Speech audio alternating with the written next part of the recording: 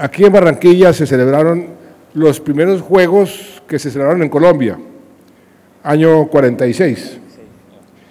Y hoy estamos alistándonos para volver a recibir estos Juegos tan importantes. Desde el Gobierno Nacional y yo personalmente le he puesto eh, mucha pasión a estos Juegos porque sé lo importante que eso es para Barranquilla y para el país. Esto no es solamente para Barranquilla y para el Caribe colombiano, sino para todo el país.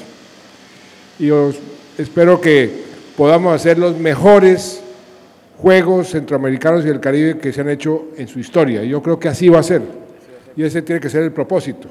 También aquí que vamos a poner 7 mil millones de pesos más para el Tomás Arrieta o el nuevo Rentería, que ese también como parte del aporte de la gobernación a todo este gran proceso. Yo creo que es importante felicitar a toda la labor que se ha hecho desde el distrito para tener al día todo este proceso de construcción. Nosotros hemos hecho la alianza y definitivamente creemos que vamos a tener los mejores escenarios deportivos de toda la historia del país. No hay nadie, no hay ninguna otra ciudad que tenga este proceso de recuperación. Juntos, este país, podemos hacer lo que hicimos en los bolivarianos, podemos ganar, ganar siempre.